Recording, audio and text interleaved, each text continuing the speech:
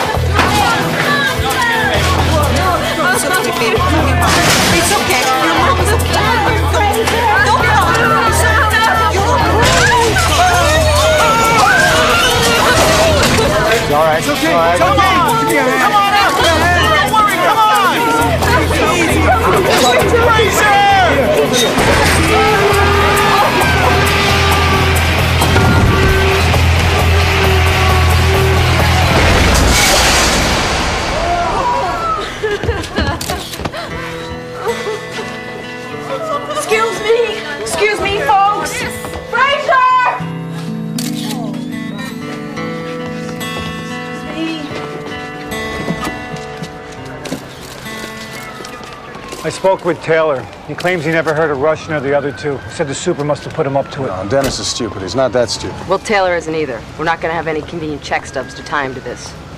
Mr. Mustafi, look, it's all right. They're not going to be back. Tonight, maybe.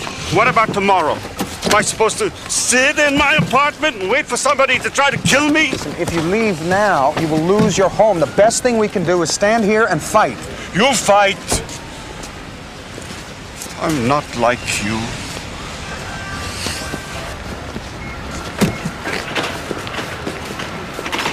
Some things you can fix. Some things maybe you shouldn't try. I appreciate you seeing me, Mr. Potter. You want something? Oh, yes, sir, I do. Um, my neighbors, your former tenants, they're being evicted from their homes. It would appear that Mr. Taylor has been less than honest about his intentions. Uh, disappointing. Oh, yes, it is. He intends to demolish the building, the entire block, in fact. Uh, this gives you pause. huh? You're beginning to wonder if you did the right thing. No, sir. Nonsense! You saw glory, little people rising up, throwing off the yoke of tyranny. People don't like to succeed, Fraser. It's a lot of responsibility. Think of it. You tell a man he's going to die, he can accept that. You've given him a certainty.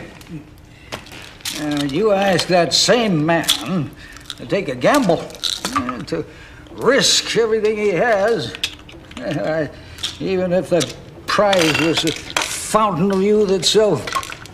He'd sooner roll over in the ditch than take that chance. Not every man. No, no, no, no. Some are, are just plain dense, like you. Hmm. Sir, I would like you to buy the building back from Mr. Taylor. You would. Yes, I would, sir. Waste money on lawyers' fees? Don't be stupid. I made a handsome profit on that sale. And as for the building, it's a dump, not worth the land it's standing on.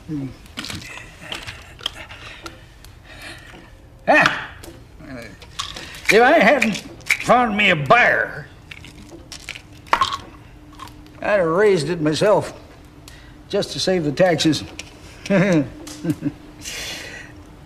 can leave now.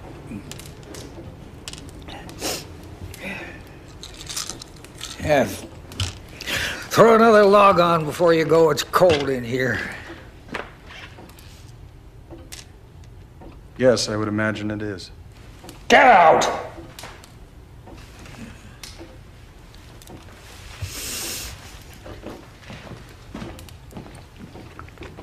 Ray, do you think I expect too much from people? Well, take our climbing up the side of this building, for example. Okay. Is the building on fire? Uh, no. Is there a helpless person trapped up on the roof? No. Is there a hostage to rescue? Uh, not that I'm aware of, no. And we're climbing this building because? Oh, I see. Because I expect too much from people. Exactly. Well, that and the fact that the doors to the council chambers were closed until after question period, this seemed the only way that we could gain access.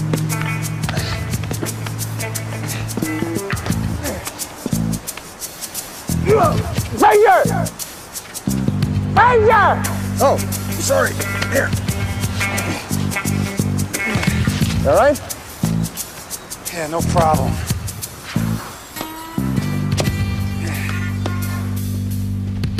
That concludes the scheduled agenda for this meeting.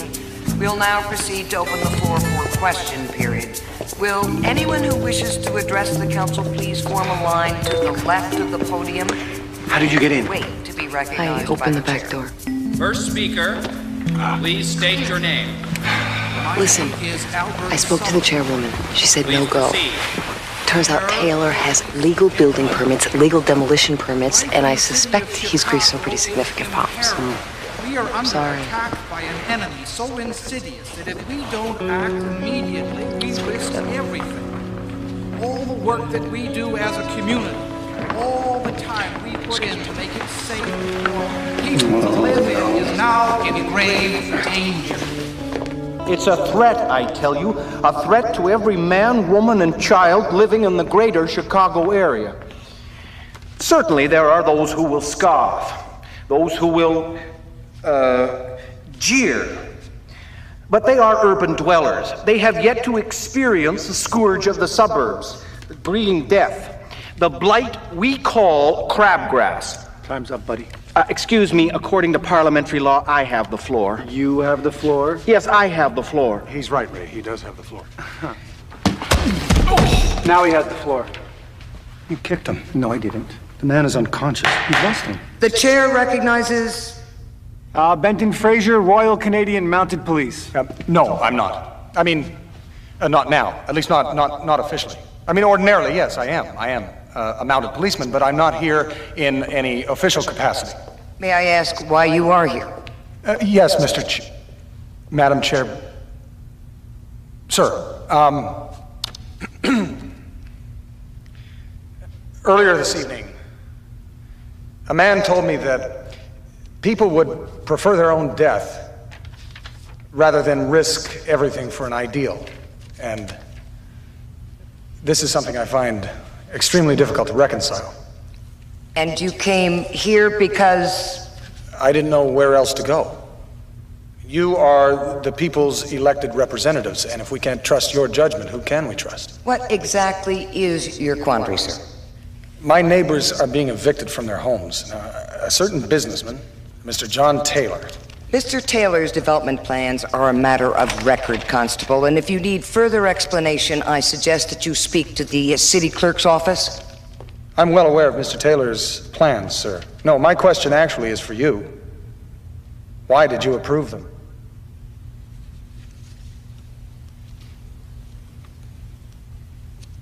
Do you represent anyone besides yourself, Constable? Sir? Uh, these other tenants, your neighbors, uh, where are they tonight? Well, they are not here tonight. They were unable to attend. So you're only here to speak for yourself, and these 50 tenants, for all we know, they may not even exist. No, I assure you, sir, that, that really is not the situation. Time. Excuse me? Time. Time's up. Step down. Oh, sorry, I, I don't understand. Each speaker has one minute, Constable, and I'm afraid if you wish to say any more, you'll have to come back tomorrow night. May we have the next speaker, please? Point of order, Madam Chairman. Uh, we'll get to you, sir. But my question. I'm afraid those are the rules. Step down, please. But, but I, I. No. Step down, please. No, I'm afraid I can't do that. This is my minute. You are using my minute. No, no, no. You see, your minute was incredibly boring, so it was canceled. Constable, I'm going to have to insist that you leave the podium. No. Excuse me? With all due respect, sir, I refuse to yield the floor. Point of personal privilege, Madam. That man is exhausted. Oh, God, a filibuster. He's going to filibuster. What? He's going to talk us to death. We'll be here all night. I don't have time for that. I'm a city councilman, for God's sakes. Got a golf game in the morning. You know you're wasting your time. Possibly. The best you're going to get is a bad case of laryngitis. Probably. Lozenges? Cherry flavored? On my way. Thank you kindly. Could have packed the place if you waited for the morning edition. What about a TV crew? And Lucy exclusive? No. American My grandmother gave me that book for my birthday. Do unto thy neighbor. You would have thought at least some of them would have shown. But my grandmother failed to see how rooting about in the dirt with a toy bulldozer was going to broaden my horizons. I was resentful, naturally.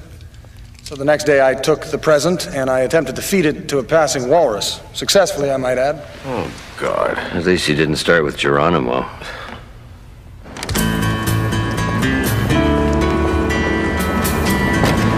Anybody want to make an easy 50? All right, how about 100? 100 apiece. All you got to do is listen to some Canadian quote an American revolutionary. Which revolutionary? Like it makes a difference? $100 upstairs. For my seventh birthday, I, I requested a go kart, but I, I received a book. My eighth birthday, I wanted a Johnny Seven, but again, I, I received another book. On my ninth birthday, I wanted a guppy. But again, I received another book. And finally, by my 11th birthday, I realized that my toy box contained virtually no toys at all. Rather, it was lined with some of the most seditious reading material available through mail order. All right, anybody else? Come on, I got free money here. Hundred bucks to listen to some Canadian quote an American revolutionary. Thank you very much. Upstairs, council chambers. No, I haven't been drinking. Look, you got 10 minutes to get a camera crew down here, or I call WPOV and give them one hell of a scoop. You know me, Jack. I wouldn't do that. My work is my bond. Fine. Hi. Hi, Mari, Mari, Mari. Hi. Mackenzie King here. Listen, you got 10 minutes to get a camera crew down to City Hall, or I call Jack over at WZMR and give him one hell of a scoop. No, I haven't been drinking. You always give money to strangers. This is better than money. This is a 1972 Buick Riviera, or what's left of it. You should have kept the money.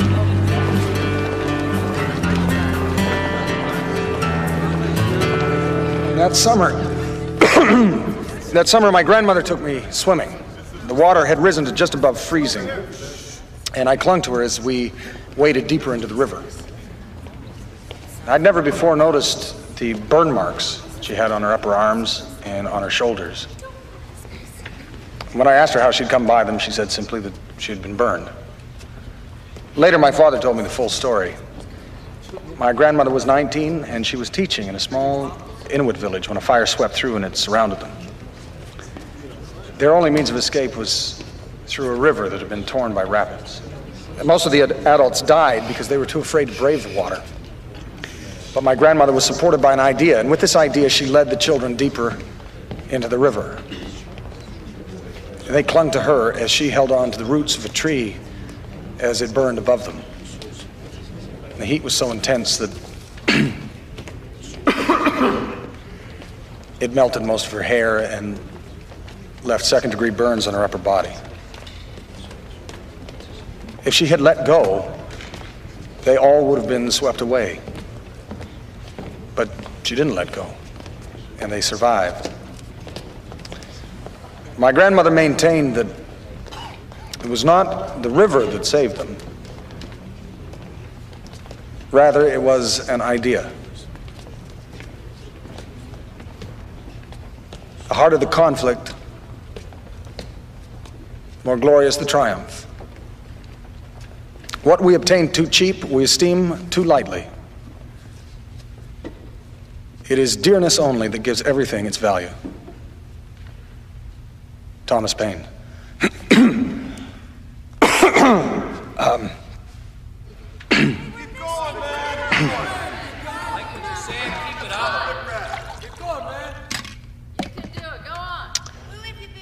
Subsequently, I made a concerted effort to work my way through my grandmother's library, although I have to confess that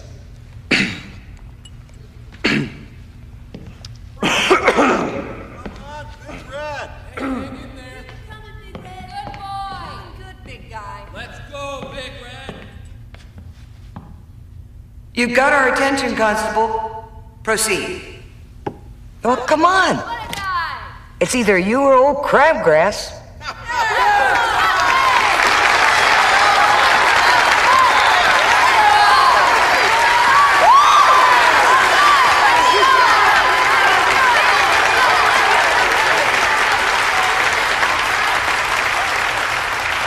You're not fooling anyone. Not one of these people live in my building. Well, how would you know? Did you take the time to shake their hands or learn their names? I have their names. There are files. Well, congratulations. I have camera crews, and in these halls, perception is nine tenths of the law. I'll win this in court, and you know it. Oh, good, you're here. Give the chairman the list of the tenants' names. I couldn't find it. What? I looked through my files. All I could find was this. It's a lease. Potter gave it to me when he made me super. Ten years. No increase. It's got four years left to run. Well, at least you'll have a roof over your head, Dennis. You know, Detective Baker, you could be just a little nicer. If I still got a roof over my head, then so does he. And so does everyone who lives there. And I, I believe it was Geronimo who said, It is my land, my home, my father's land to which I now ask to be allowed to return. No one can tear down that building unless I say so. Huh? You're a good man, Dennis. Madam Chairperson, point of order. Some new evidence has come to light in this case regarding the tenants. Dennis. You realize you're fired. Hmm. Stuff it in your ear, Goldilocks. City Council hereby suspends Mr. Taylor's development plans until further notice. The eviction orders are revoked. The world and all our woes loss of Eden till one greater man restore us and regain. You can stop now. Oh. Thank you. I can't believe I let you do this to me again. I was um, kind of surprised myself. Never again understand. Understood. Good.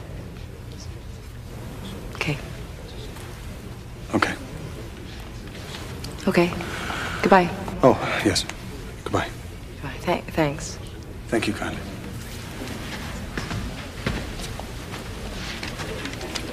You owe me. How much? How much? How much do I owe you?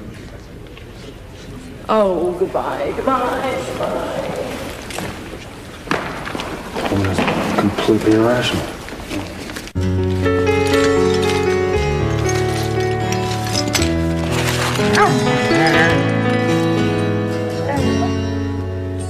Oh, yes, I'm sorry, but we can always get you another one. Yes, I realize it was your favorite, but some things are worth the sacrifice.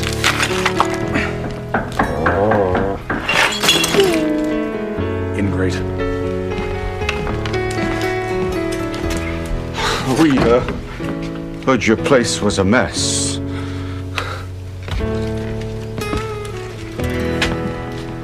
You really should set a better example, you know. Understood. Come on. Painting, dusting. Want a garbage bag?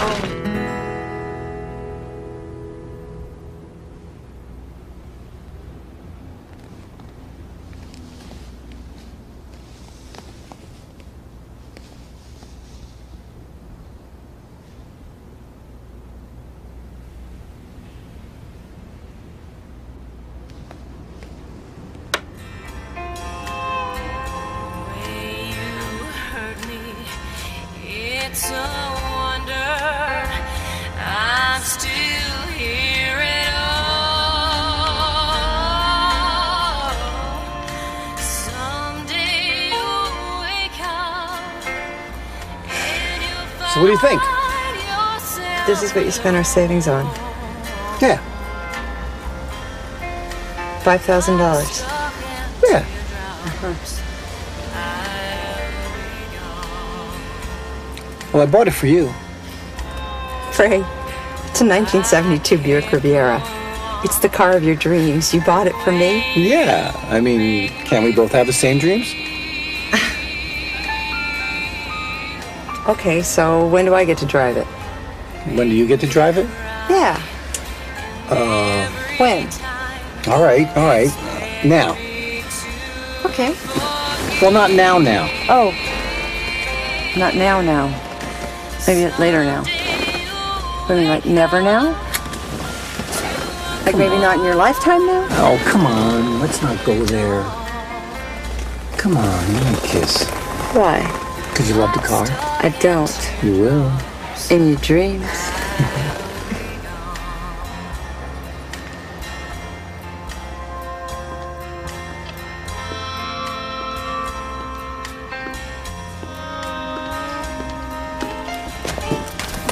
Ray. Yes, Al. Well. I'll give you a thousand bucks. Ray. Ah, come on, Al. It's all I got left. Come on. Deal. You get it washed.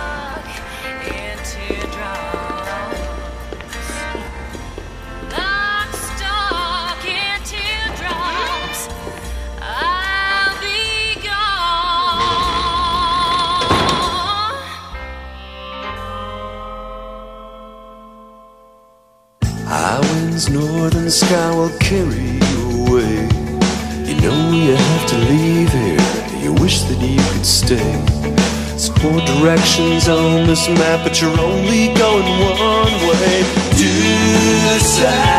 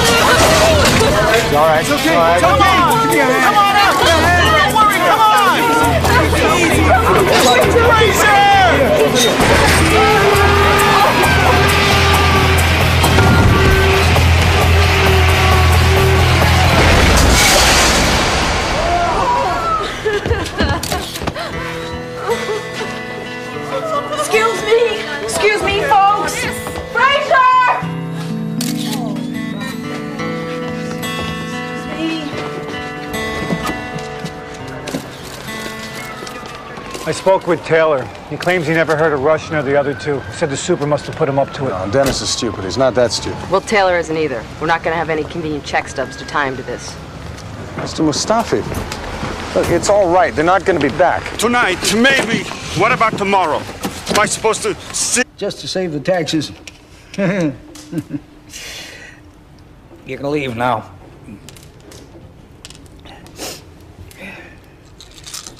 Yeah. Throw another log on before you go. It's cold in here. Yes, I would imagine it is. Get out!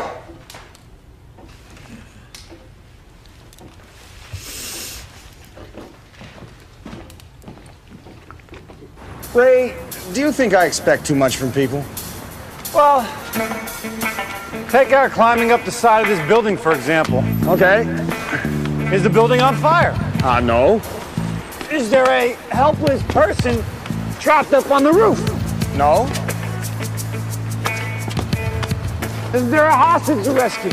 Uh, not that I'm aware of, no. And we're climbing this building because? Oh, I see. Because I expect too much from people. Exactly.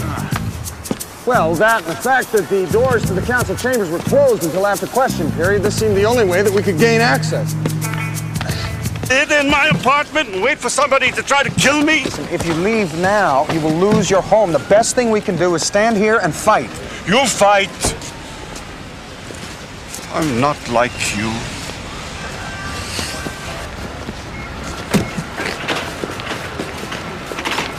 Some things you can fix. Some things maybe you shouldn't try. I appreciate you seeing me, Mr. Potter. You want something?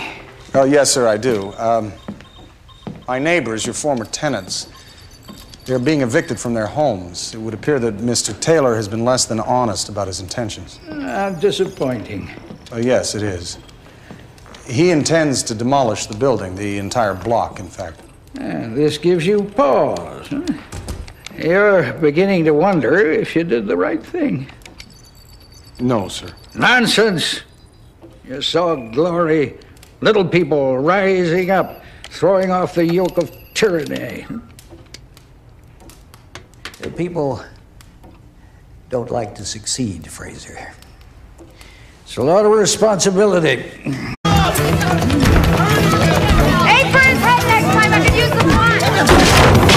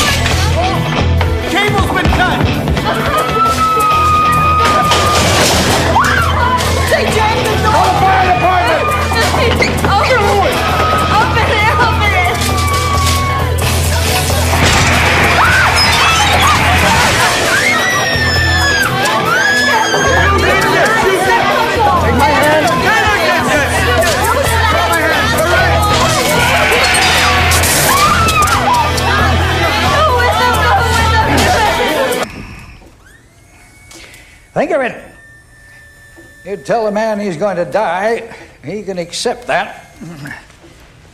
You've given him a certainty.